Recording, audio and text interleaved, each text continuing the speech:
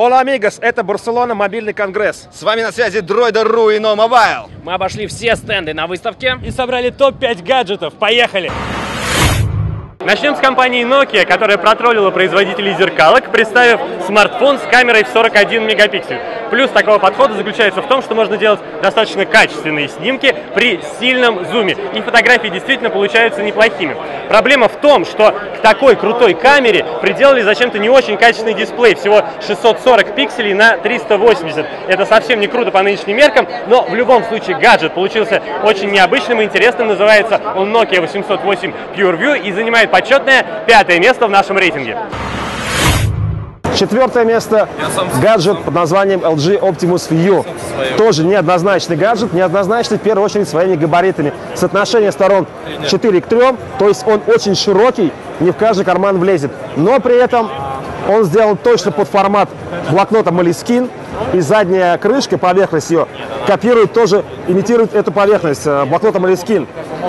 Гаджет, скорее всего, будет нишевым, он явно бьет в премиум сегмент, а, но что-то в нем есть. Он породистый, он интересный. А вот с вытащенной антенной для телевизора я выгляжу с ним как в лихие 90-е. Алло. На третьем месте расположилось весьма необычное устройство. Это Samsung Galaxy Note э, 10.1. Во-первых, это планшет с 10-дюймовым экраном, и при этом у него есть э, ручка S Pen. Э, Ей можно делать э, рукописные заметки, но она сильно улучшена по сравнению с тем, что было у Galaxy Note. Во-первых, очень много градаций нажатий и угол наклона пера учитывается. При этом на другой стороне пера есть ластик. Э, Планшет подойдет э, для художников, для набросков и просто для людей, которые любят делать э, заметки рукописные. Видимо, все же эксперимент Samsung э, с Galaxy Note удался, и они решили немного увеличить экран.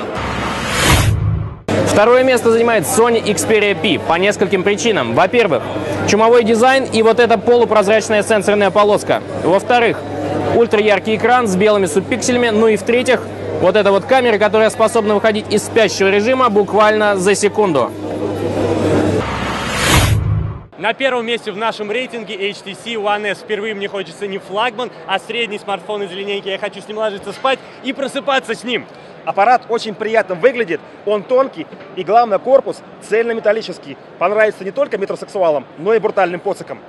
На нем установлен Sense 4.0, основанный на Android Ice Cream Sandwich. Еще телефон заряжен технологиями Beats Audio.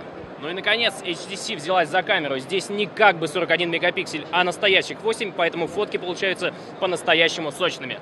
Это был совместный выбор лучший гаджет выставки двух редакций Droider и No Mobile. Оставайтесь с нами в теме гаджетов. Пока. Пока.